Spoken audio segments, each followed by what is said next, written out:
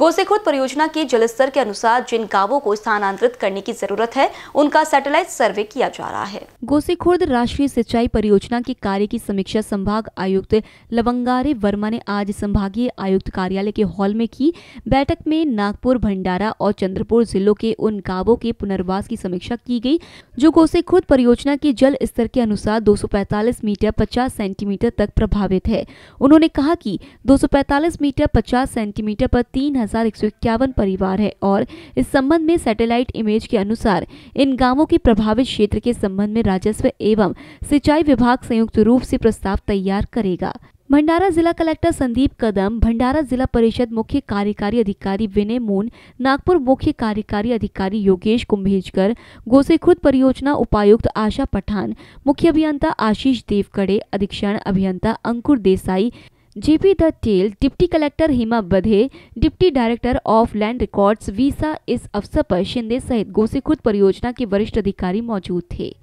Camera person राजकुमार मोहन के साथ Abhishek Pansi BCN news Nagpur.